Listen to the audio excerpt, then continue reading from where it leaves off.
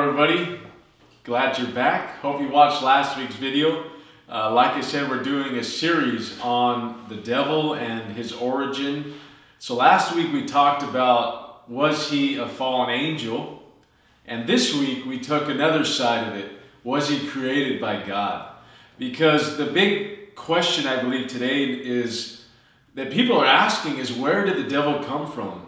And as we've been discussing, is, is he a skeleton in God's closet? Something God never told us about? But now we're searching and we see that there's something shady to God. Where did he come from? Um, we looked at a verse, it's in Isaiah. I want to read it to you. It says, I form light, I create darkness, I, I make peace, I create evil. I do all these things in Isaiah 45 7. So we were looking at the verse and saying, does that mean God creates everything that's evil? Is that what that means? And we looked at another verse in Colossians where everything was made through Jesus for Jesus. So what about the devil? Where did he come from?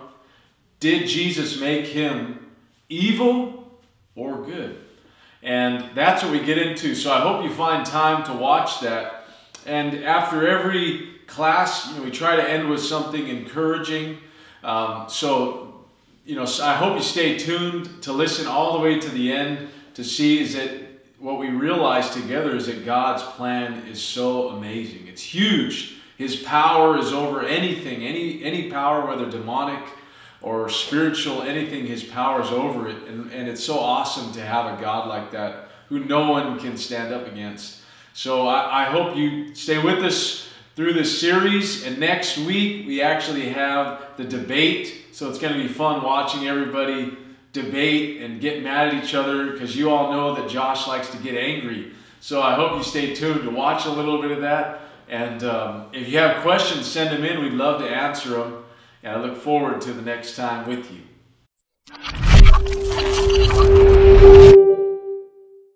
And last thing, don't forget to like, share, subscribe. If you like the videos, share it. Instagram, Facebook, whatever. Somebody may be struggling with these questions. And if you want to watch the full video, it's right here on the left. Take a look. I know it's a little long, but take a look if you're interested. I think it's a really important topic. Thank you.